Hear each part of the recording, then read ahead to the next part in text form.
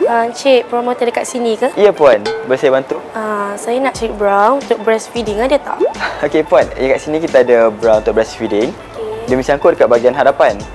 Jadi senang untuk kita nak cabut dan juga pasang semula. Sangatlah senang untuk nak menyusukan baby. Yang ini dia punya butang kat bahagian hadapan.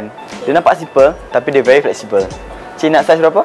Uh, eh, eh tak apa, tak apa. Uh, saya boleh cari sendiri. Baiklah. Uh, terima kasih. Sama-sama.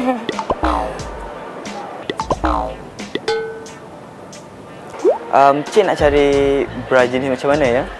Nak yang cookies tebal ke yang nipis? Nak yang ada wire ataupun wireless?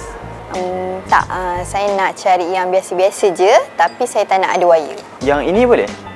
Yang ni bra soft cup. Cik tahu tak?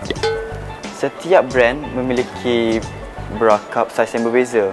Seperti brand Y punya C75 tidak semestinya sama dengan C75 untuk brand Z. Uh, prinsip kami juga adalah agar customer sentiasa feel confident and comfort. Confident and comfort. Betul. Okey, kalau macam tu saya nak cuba dululah. Um, Cik kat sini tak ada promoter perempuan ke? Oh.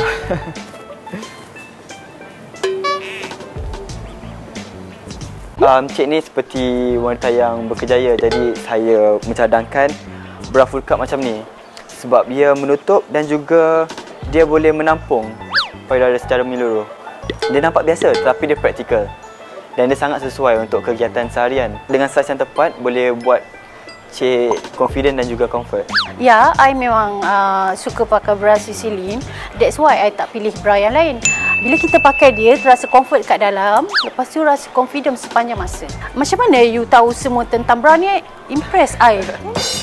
Sebenarnya saya ni rapat dengan mak dengan kakak saya. Jadi diorang sukalah bercerita pasal ni. Saya pun dapat belajar dari situ. Lagipun saya rasa tak salah kalau saya nak belajar dan memahami tentang keperluan seorang wanita. Wow. Baguslah you ni. Um, tak apalah, I try dulu eh. Akak tunggu dulu. Bersempena kan International Women's Day, akak telah jadi masa untuk prank video kita.